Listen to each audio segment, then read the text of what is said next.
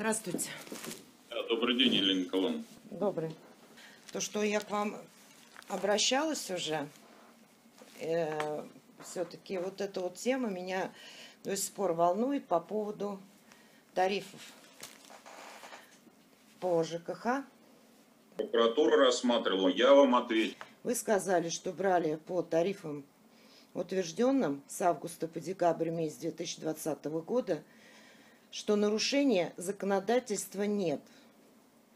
Значит, однако по проверке УБЭП и арбитражного суда доказано, что тарифы брались по необоснованным, по завышенным ценам. Значит, скажите, вы об этом знали?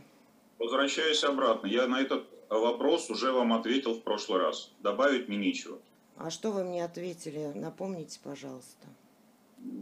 Зачем я буду напоминать?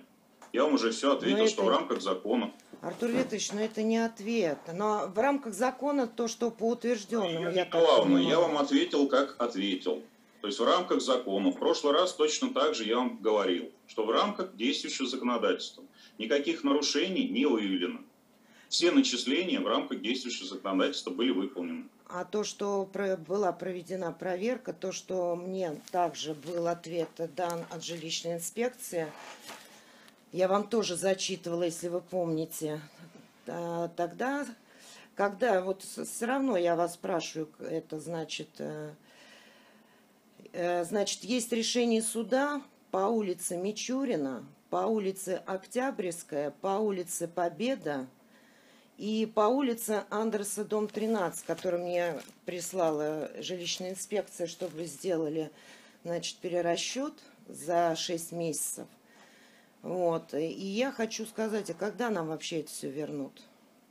И не только мне, а всем людям, кто проживает в Воскресенском районе. Елена Николаевна, я первый раз об этом слышу. У нас таких заявлений нет. И таких э, документов в том числе. Тоже нету, да?